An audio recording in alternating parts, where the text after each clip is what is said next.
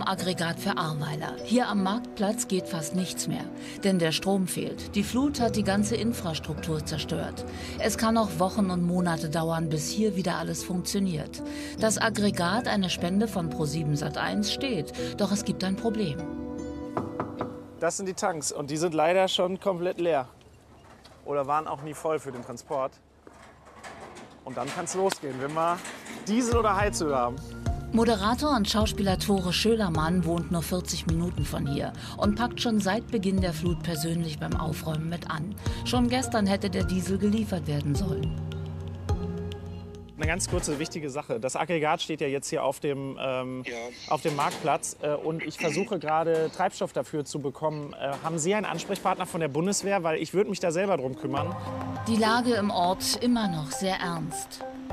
Das spürt man, wenn man mit dem Bürgermeister Guido Orten spricht. 25.000 Bürgerinnen und Bürger von 30.000 sind unmittelbar betroffen.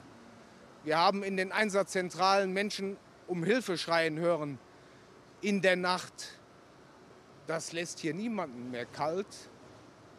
Und unsere Heimat ist zerstört und deshalb sind wir dankbar für die Hilfe, die von außen kommt und die die Menschen sich selbst geben. Wir versuchen uns gerade gegenseitig Stütze zu sein. Äh, Und die Hilfe von außen hilft uns an das Morgen auch zu glauben. Die Kabel sind gelegt, das Aggregat steht bereit, aber ohne Diesel geht hier gar nichts mehr.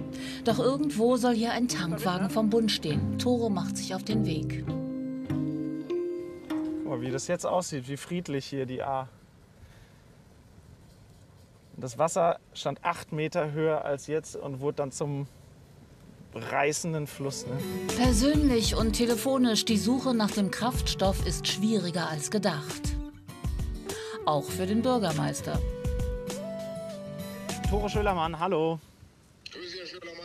Hallo, ich habe schon mit Ihrem Kollegen gesprochen. Es ging um äh, den Diesel äh, für das Aggregat. Wir sind gerade dabei. Ah, ich sehe gerade, das ist ein Tankwagen. Alles gut, ich, die Hilfe ist äh, da.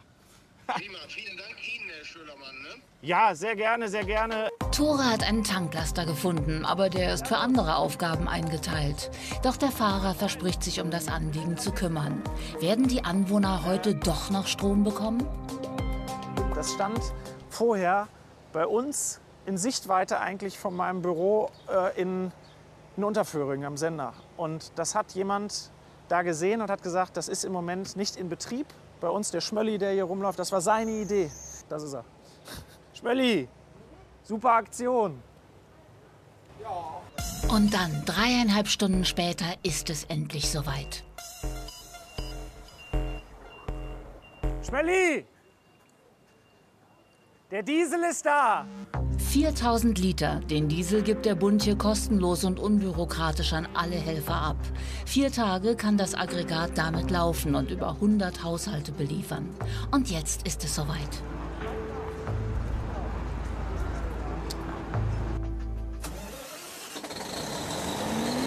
Es werde Licht. Im Moment läuft die Versorgung noch über Baustrom, doch der ist jetzt wichtiger denn je. Die Anwohner können es kaum glauben. Ganz herzlichen Dank. Gell? Denn das ist was Wichtiges, dass hier jetzt die Bautrockner dann herkommen und Ventilatoren und dass wir trocknen können. Schön. Ja, Danke. ja. Ich, Sehr ich, gut. ich, ich richte es an Herrn ProSieben weiter. Ja, genau. Schön, nee, toll. Okay. Also, frohes Schaffen. weiter. Tschö. Danke. Überall rund um den Marktplatz gehen in den nächsten Tagen die Lichter wieder an. Die, also dieses Brummen hier gerade zu hören, also den Strom wieder fließen zu hören sozusagen, ist äh, wirklich essentiell gerade für, für die Leute, die hier gerade da, dabei sind, ihre Häuser zu entkernen. Die brauchen Licht abends, die, äh, die brauchen Bautrockner, um die Feuchtigkeit jetzt rauszubekommen. Das braucht alles Strom. Und das gibt vor allem Hoffnung.